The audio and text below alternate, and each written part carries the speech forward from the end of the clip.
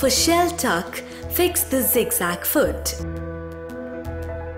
Set the pattern selector dial at G.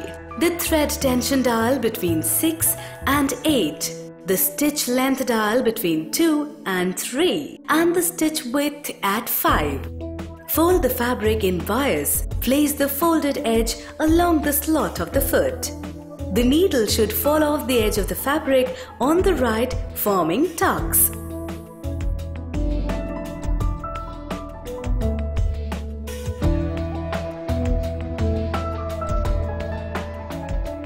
Shell tuck stitch is used to give a decorative look to garments and home linen like this beautiful napkin.